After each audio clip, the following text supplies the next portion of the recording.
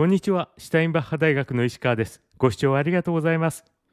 4月9日ロシアの戦闘機がテレビ誘導式の空対地ミサイルでウクライナ北部のチェルニーヒウ州にあるロシア国境近くの橋を破壊しました。これは何を意味しているのでしょうか？今日はこのことについてお話しします。この映像は4月10日に SNS にアップされました。ウクライナのチェルニヒウ州にある橋がロシアの戦闘機が発射したミサイルで破壊されました。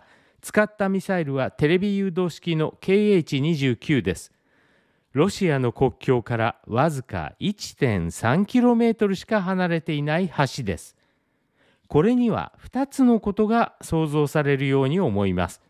一つはロシアは西側からウクライナに供与される戦車軍団がウクライナの北方からロシアに攻め込んでくることを極めて恐れているということ。